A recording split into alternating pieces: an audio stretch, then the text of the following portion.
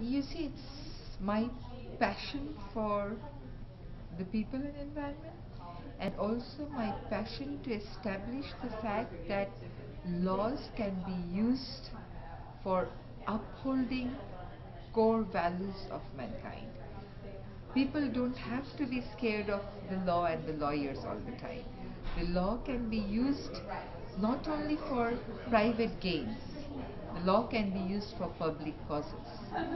That's my passion and I always wanted to I didn't go for conventional practice because asking money from the clients would be something impossible for me to do.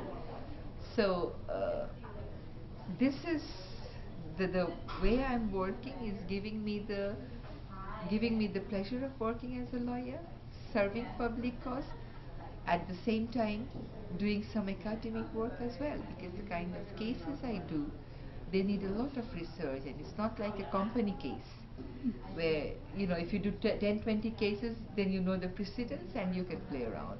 Each of my cases are very different. So that they and they require me to do a lot of research and do really serious studies. So my passion is to use law for public causes that's what i'm doing